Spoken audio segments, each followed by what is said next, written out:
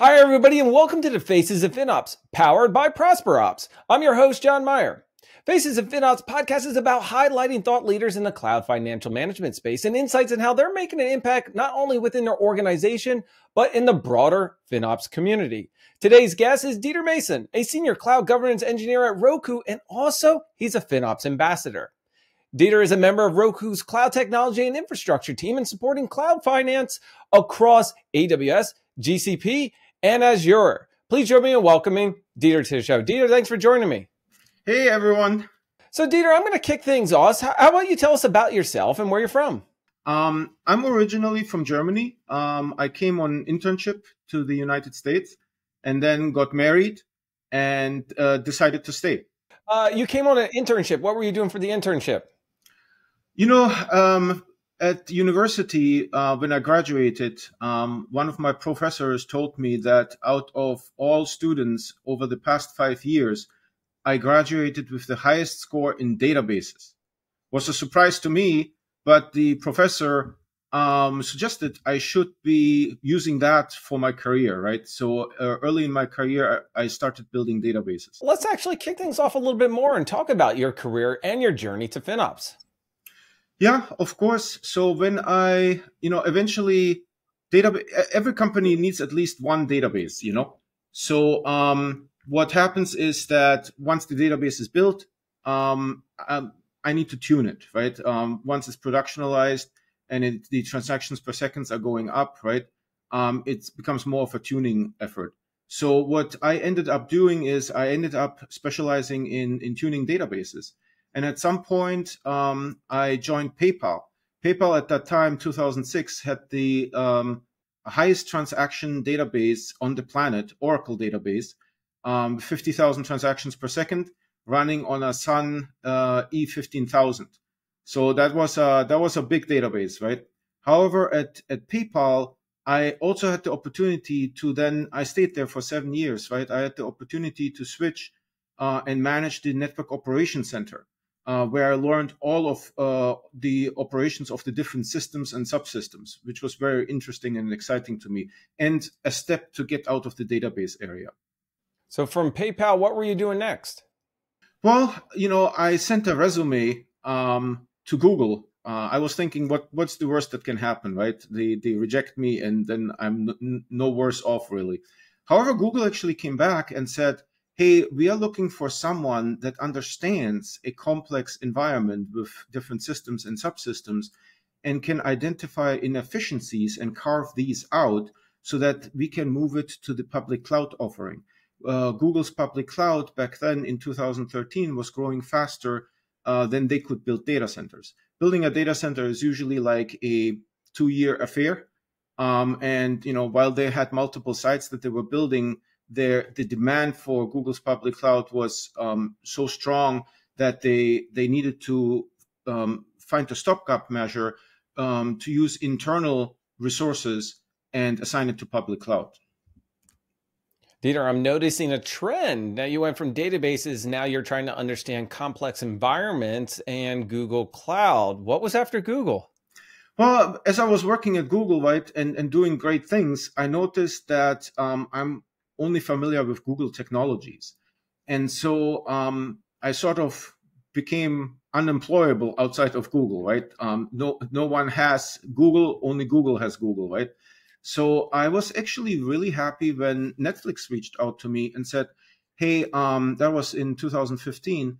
We are spending 250 million dollars annually on on Amazon Web Services, and um, the we don't believe we need all of this, right? We need someone like you that can find these inefficiencies um, and uh, tell us where we can save money. So, Dieter, you went from mm-hmm. understanding databases to Google Cloud to understanding complex environments and broadening your knowledge around FinOps and you know trying to reduce the expenditure within environments. And that's where you went to Netflix, uh, dealt with AWS what's your next role? What are you currently doing now? Well, there was one step in between. Um, at Netflix, when I if I, if I found something, it didn't matter if it was a small dollar amount or a large dollar amount. Sometimes uh, the engineers acted on it, sometimes they didn't. It was really independent of, of the dollar size. So that was a little bit, um, you know, not satisfying for me, right? Um, that I do work and and the work is not being acted upon. So um, I was thinking there should be a better way of of managing that, like a organization wide program um, where I then would go into the different business units and uh, find optimization opportunities there. Um, and I looked around, and by accident, I found a job posting from Intuit. And Intuit, uh, the, the job posting was exactly what I just described, right? Word for word. Um, the hiring manager actually asked me, Why did you pick us? And I explained to them that your job posting was word for word what I envisioned, right? So at Intuit, for four years, I was running the back then we called it Cloud Financial Management Program, uh, starting 2016. Right. The the very first thing that uh, people were saying is um, they expected that there was a lot of waste. Right. Um, back then, Flexera came came out with the um, 30% of waste across all of cloud resources. Right. So I started working on that. I built a system where we had um, waste sensors. A waste sensor is just a small little script that finds something and puts it into a database, right? Then we uh, built a dashboard on top of that data that showed waste by um, engineering leader, uh, sorted by the highest dollar amount on top, right? And with six waste sensors, um, we found about 28% waste. Um, that that was the start, right? Over the four years, we were able to improve that. We increased the amount of waste sensors, so we sort of raised the bar a little bit, right? Um, from from six to thirty-two, something like that, and we were able to push waste down from twenty-eight percent to five percent. So that was that was wow. really great. So you took your knowledge from the database, you know, starting out, and then you ultimately applied that to your, I want to say, cloud financial management or your FinOps. Was FinOps actually utilized and was it an actual culture established, or is it something that you guys were underneath the cloud financial management and eventually identified as, you know, a FinOps practice? Yeah, so FinOps didn't exist back in 2016. I actually met J.R. Storment at reInvent that year and he asked me, uh, Dieter, do you think this cloud financial management thing has legs? Is that a thing, right? And I told him, you know, from my experience, um, as long as engineers are working, there will be waste, right? This is analogous to a industrial kitchen where you have multiple cooks, right? You need to clean every day uh, because the place will get messy. So, um, you know, and, and I think that impressed JR uh, quite a bit and back then, he was working for Cloudability, that was uh, later acquired by Apptio. And I think he was the the um, at Cloudability he was the CTO, maybe even the CEO, and at Apptio he was the CTO for I think a couple of weeks, and then they let him go, right? And uh, in 2019 he founded the uh, FinOps Foundation, and so FinOps is the the first time then where this FinOps term was was actually coined. So, Dieter, what are you doing now, though? So, um, you know, at Intuit, what uh, what I was doing is I, I, did that waste management, right? And then there's something called convertible RIs, and so every week we would look at what is unused, and we would use the convertible RIs to convert it to something that will be used in the next week, right? And that was sort of like an ongoing basis. But I also uh, noticed that um, the forecasting uh, of cloud spend was a huge effort. Uh, something around 30 people were working on that for the better part of three months, right? And there, um, the, the forecast variance at best was 15%, and at worst, it was um, 70%, right? Which is unusable.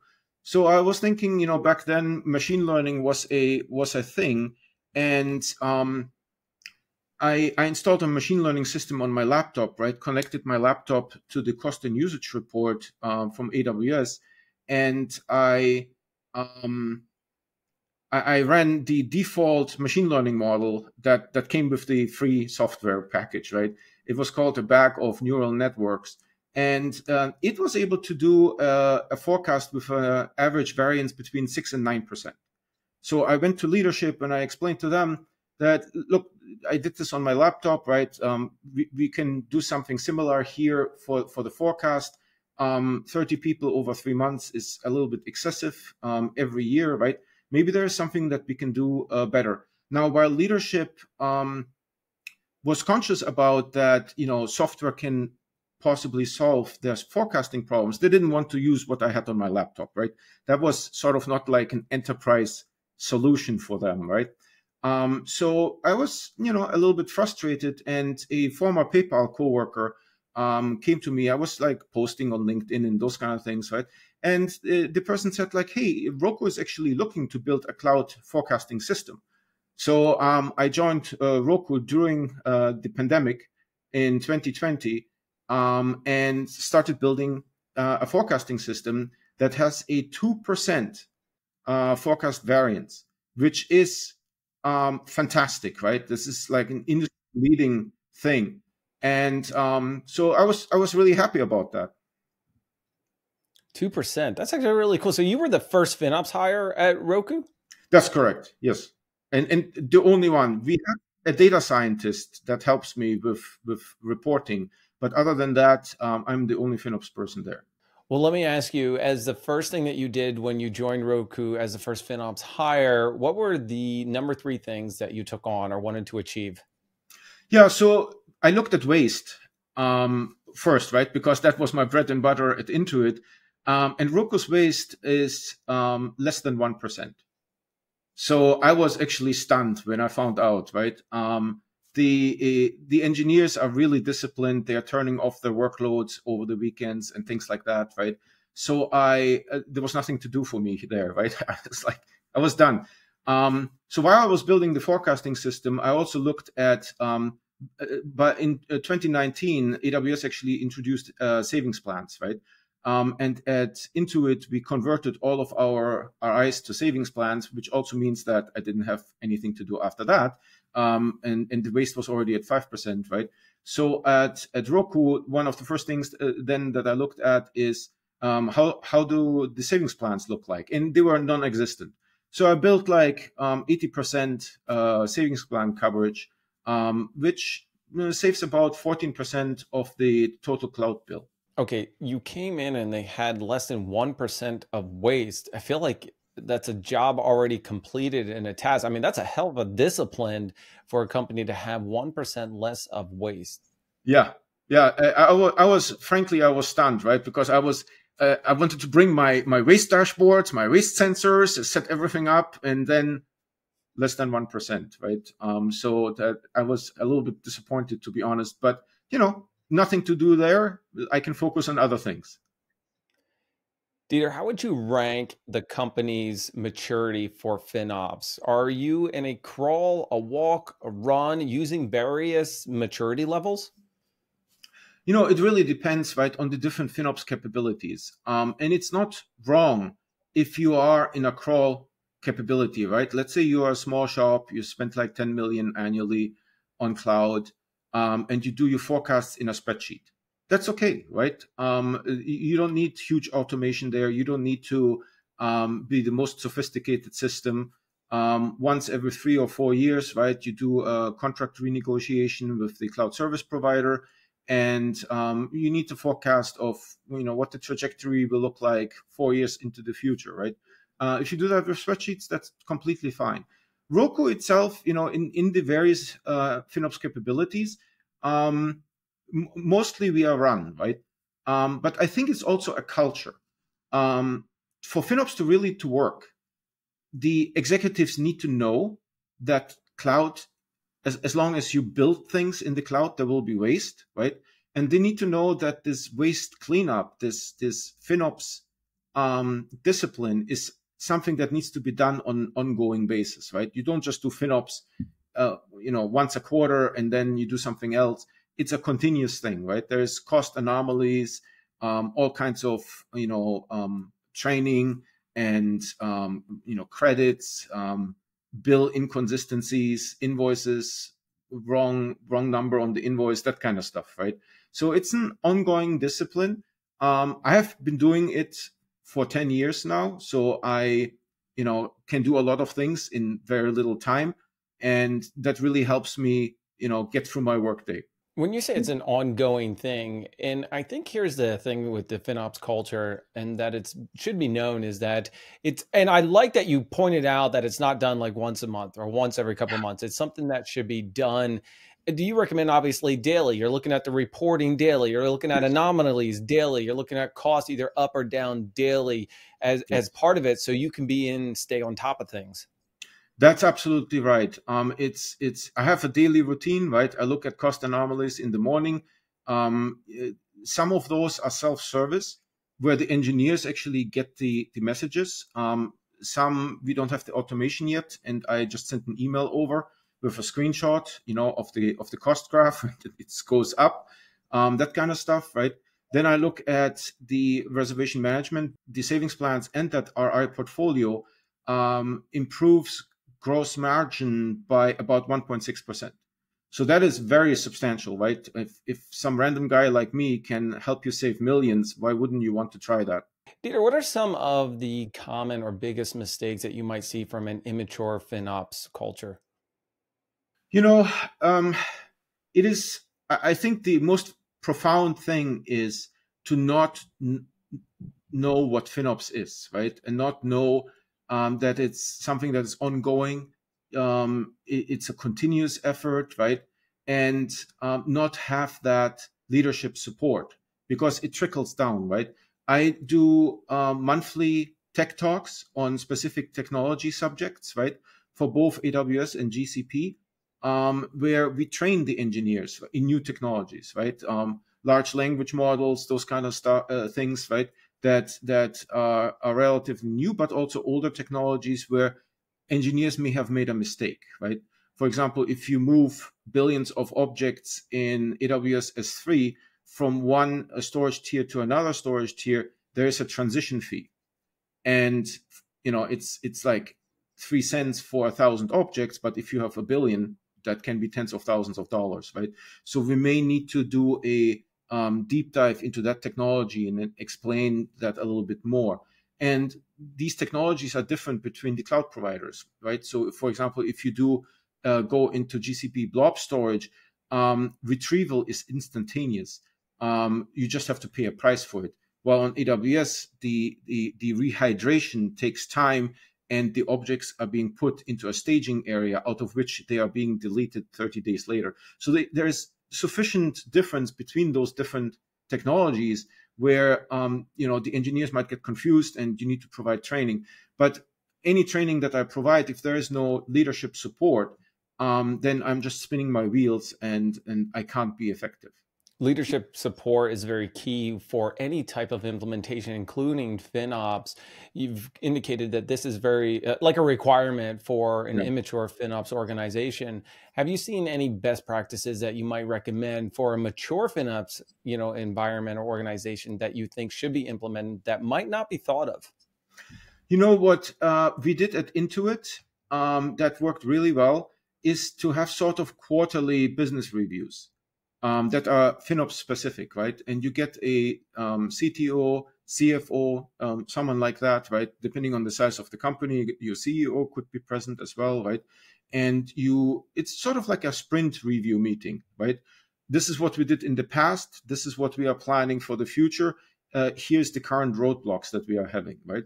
And you do sort of like this this kind of business rhythm, right? You establish that business rhythm where um, you know the, the executives then not just get informed but over time they will actually reach out to you to get information to make better decisions Dieter, you were talking about Intuit where you used eh, machine learning. Are you using any type of AI or automation within Roku or suggestions that others could use for their FinOps practice?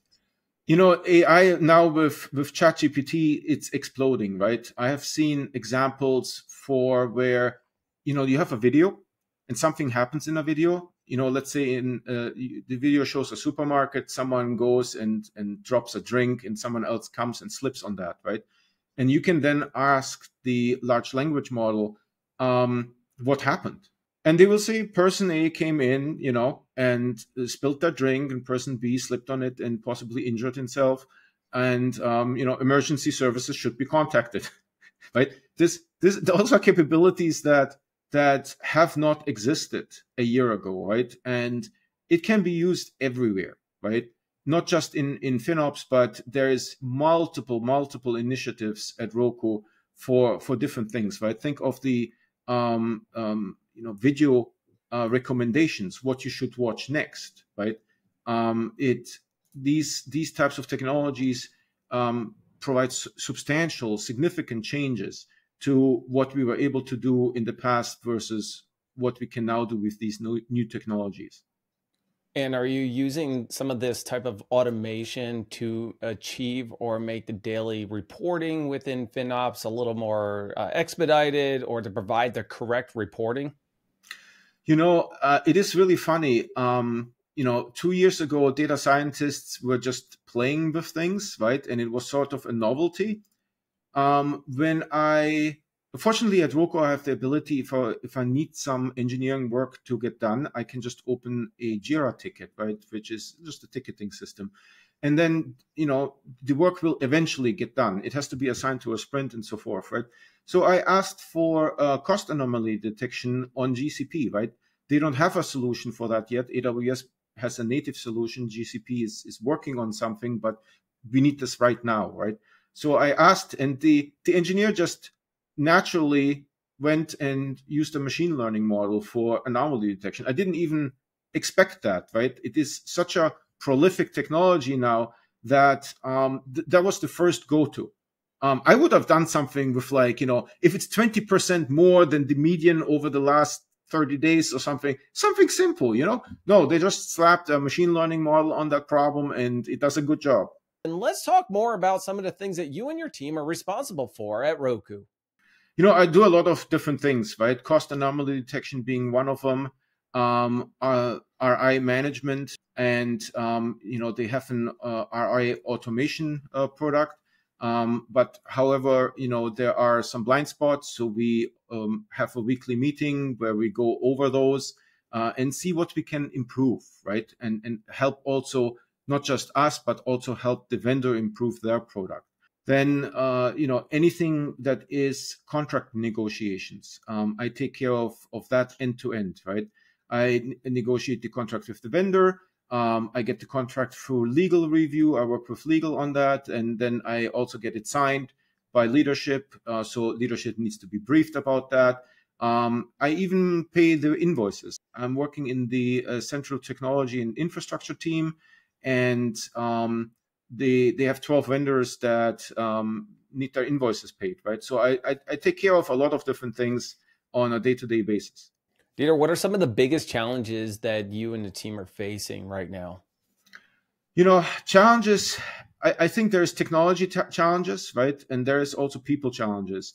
Um, I think interactions with people are the, the most important, the, the most outcome driven, and the most challenging, right? Because you don't know um, what is the knowledge uh, of that person, right? What, what is the skill level?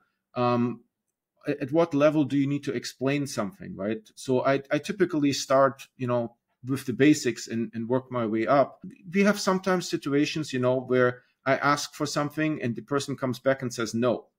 And I'm like, um, you know, that's not a sufficient uh, result here, right? You need to provide a little bit of context at, as to you know you, you probably talk to a team in the background and you uh, deliberated on on this topic right so provide a little bit context around what constitutes that no. And maybe you should also come up with alternatives right?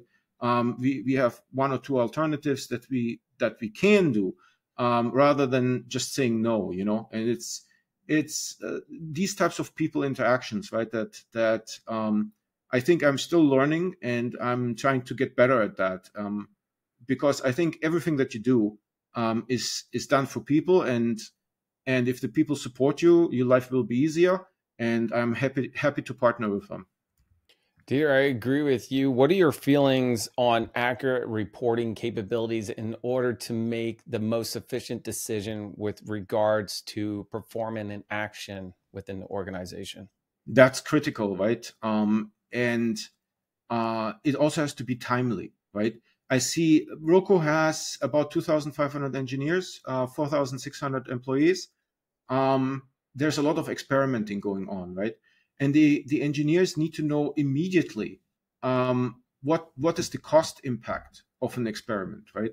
Um, for example, at Intuit, we had a uh, a project where you can scan a receipt, and it will find the the total on the receipt, um, and then add it into QuickBooks, right? Um, not not every receipt looks the same. Um, some receipts, if you buy like raw materials like lumber or something like that, the, the, structure on the receipt is a little bit different, right? So it's not a, a trivial problem to solve. But the the initial version was something like you know five thousand eight hundred dollars um, a day, and um, we were that was good for a proof of concept, right? But it is very expensive. So um, we, we were then later uh, able to tune the machine learning model that was used for that and uh, get it down to eighty dollars a day, which is much more doable and much more financial financially feasible you remember that the FinOps survey came out and the, a couple years in a row, and in fact, this last year there was a, some indicator of thirty percent of the effort is getting engineers to perform action. You have over two thousand plus engineers. Are you running into the same issue, and how are you approaching it? It depends. It depends how you structure that, right? Um, if you have leadership support um, it, it will be much easier, right? Um, because you and, and it also is depends how much training does leadership have, right? And you know how big is the engineering team as well, right? Like at Intuit, I had a situation where one of my um, leaders wasn't really performing well. They they were not responding in a timely manner. And when I had a one-on-one conversation with them, it turns out it's just him and and another engineer. So the, the team had two people, right? So be aware what what your target is. But the the culture is critical, right? Um, to have this FinOps culture and be able to just go to a engineering leader, say, here's the problem, um, and they will delegate it to someone else, right? Um, and, and that happens on a daily basis, right? That um, I, I, I, find something, um, hey, you ma- made a purchase here on a credit card. We don't do this we, we want this purchase going through an invoice and I help them through that process, right? It's you, you need that understanding, the knowledge and and the support of leadership. And then, you know, the engineers will follow. Engineers fundamentally want to optimize stuff, right? Um, you need to make cost another dimension that they want to optimize. I like your approach on helping them perform an action. You didn't just go and say you didn't do this action or you need to do this action.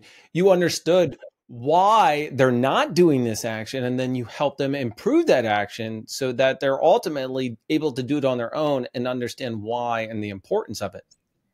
that's key to success, right? Because you don't know what their knowledge base is, right? You don't know wh- where their skill level is. Uh, I mean, it, sometimes it happens that I come to someone and I start explaining from the basics, and they say, uh, Dieter, I already know all of that, right? Tell me, tell me something. What, what, what do I need to do here? What are my alternatives, right? And that's fine, right? Then I, then I know, you know, this person is is already uh, from the skill set a little bit more knowledgeable, and and uh, I can work on a different level with them. Dieter, what is some advice you might be able to give an immature or a fa- uh, practice that's just starting out their FinOps journey? you know, uh, do do something. Don't hesitate. Right. I see a lot where where people um, are unsure. Right. maybe they are um, you know s- still um, early in their career in the FinOps journey. Right. And they are unsure about things. Um, but whatever you do, do it in a way where um, you start small, so that you can um, fix something uh, easily rather than you know going all in and then you know you you bought like 10 million dollars of RIs and it was the wrong purchase right and now you need to figure out how to fix that but start with something um, failing fast needs requires that you do things fast so i talked to to someone uh, i do a lot of uh, uh, outreach as a finops ambassador right and i talked to someone they wanted to migrate their data center workload to the cloud and they had a three year migration plan I'm like, no, no, don't don't do that, right? Because uh, there will be failures, right? And you don't want this failure to be in year three. right? Do something right away in the next three months and then see if it was successful, adjust, and then take the next bigger challenge, right? Un- until you complete it. Don't um, don't hesitate. You know, um, to you need to act quickly to be able to fail quickly, right? If you if you act slowly, then then your failure will be much later, and and maybe the only way to course correct is to switch companies at that point. I like that advice. well, I failed enough. I'm out of here. well, yeah. say, let's just say that I have a mature FinOps practice. Is there any advice that you're able to give me to help maybe improve some things or stuff that are lessons learned that you went through? Yeah, look at things that you do manually often, right? If let's say if you do forecasts every month, right, and you you're doing it with spreadsheets, yeah, your process is documented, it's repeatable, right? But it's still a manual process. Look at those processes and try to automate them. Um, for example, when when we started with uh, anomaly detection on AWS, uh, we put it into a Slack channel, right? Um, and then we can invite people to that Slack channel so that they can self-service those anomalies, right? They can they can look at what's what's going on, and they will then post replies. Hey, I'm looking at that. I started looking at that, right? Um, we looked at that. We turned off this workload, right? Um, try to use introduce gradually automation over time, right? Um, reporting will be key because decisions will be made on on good data and timely data. Um, and what good data is depends on each organization will have a different view, right? When it comes to allocations, to shared costs, how you handle that, right? Um, so there are some very mature uh, FinOps practices like Kim Weir at Target um, has a team of 20 plus people, right? Uh, a lot of them uh, are engineers that work on reports because reports are the, the key to decision making. So from from my experience, as you mature, there will be a higher focus on on data within your organization.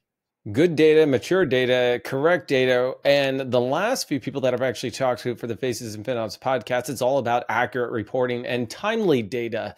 I think it's all key on performing an action and being able to perform the correct action. That's very right. Um, you know, engineers run experiments and they want to know the outcome of that experiment, right? An experiment could be I have an existing workload on an existing technology and I, I introduce one change to it, right? I go maybe from an Intel x86 processor to a um, uh, ARM-based Graviton processor, right? What what uh, is the difference, right? Um, and they they need this information immediately because when they do such a shift, what happens is that the RIs are being left stranded on the Intel x86 and being unused. And now they are on a new workload that doesn't have RIs yet, reserved instances, right? So their cost went up.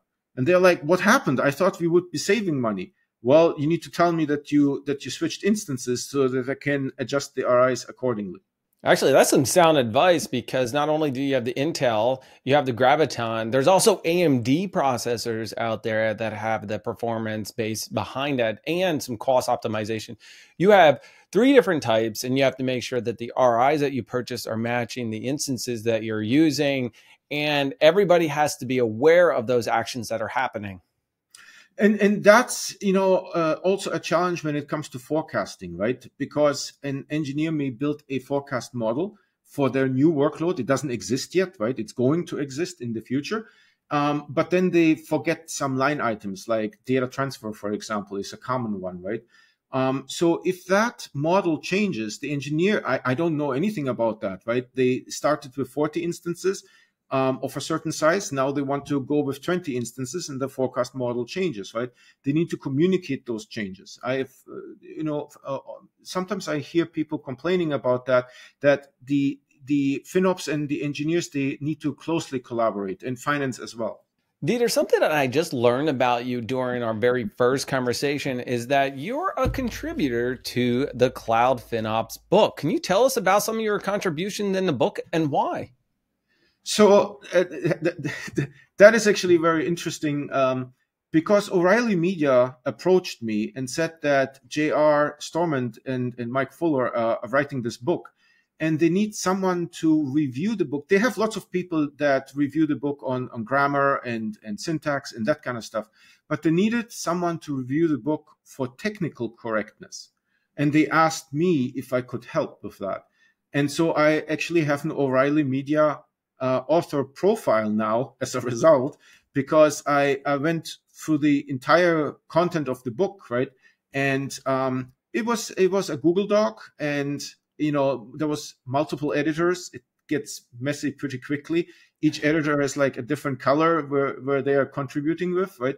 And then i would do comments saying like hey you know what this this graph uh, needs to be improved. Um, it looks like it's a screenshot from taken from somewhere else. Do we have the rights for this graph right?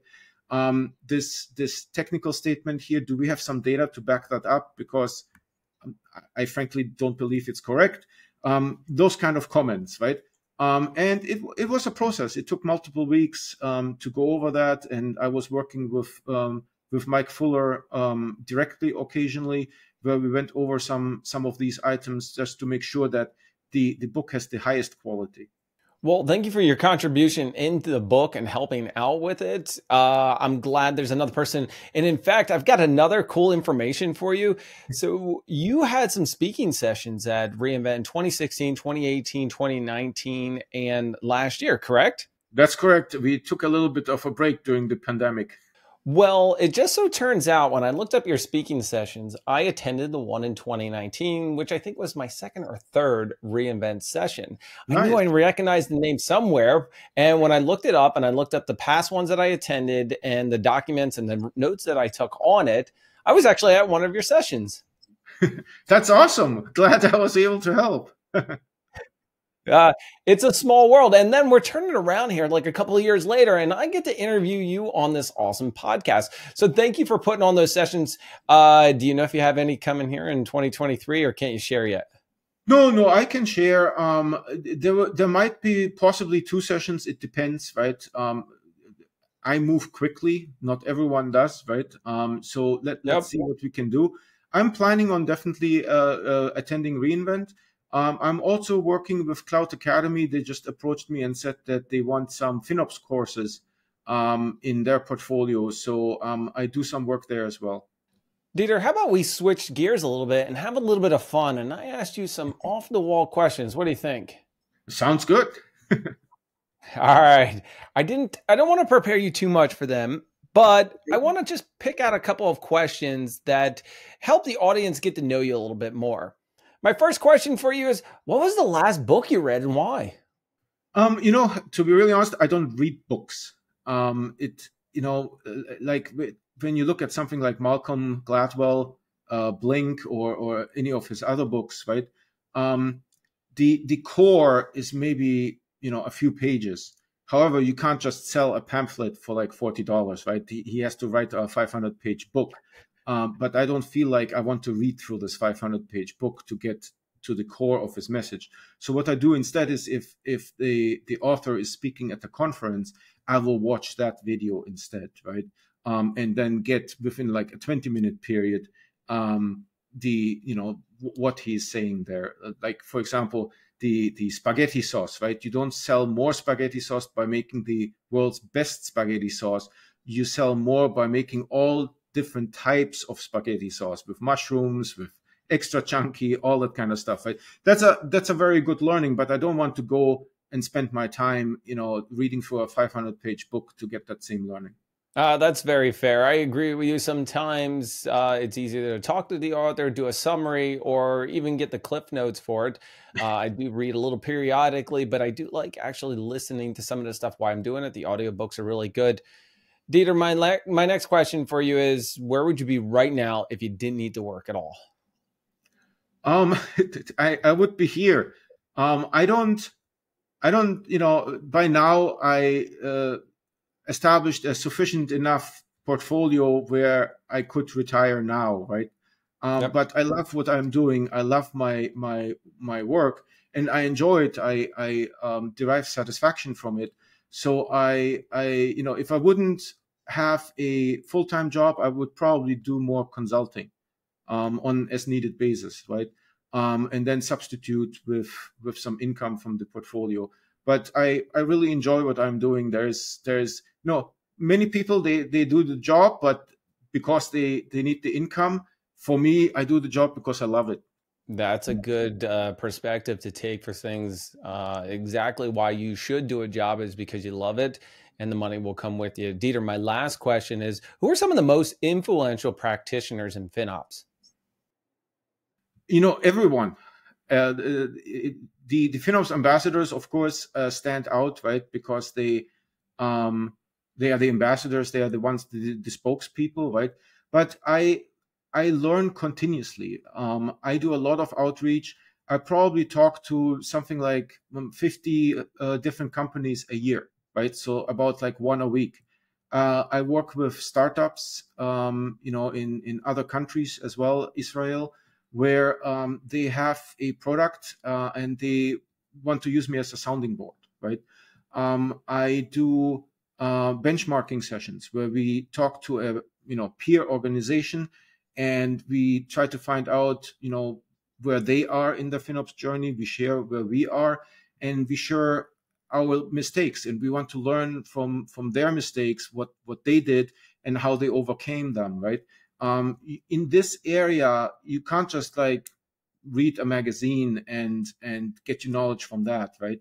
I prefer to just talk to people and uh, learn from their learnings well dieter i'd like to thank you for joining us for this faces in finops podcast thank you so much of course uh, happy to be here Everybody, Dieter Matzion, who's a senior cloud governance engineer at Roku. Dieter, I really enjoyed our conversation, and this has been another awesome episode and discussion around Faces in FinOps, powered by our good friends at ProsperOps. Be sure to hit that like, subscribe, and notify, and check out our latest episodes on the new YouTube channel and the ProsperOps blog.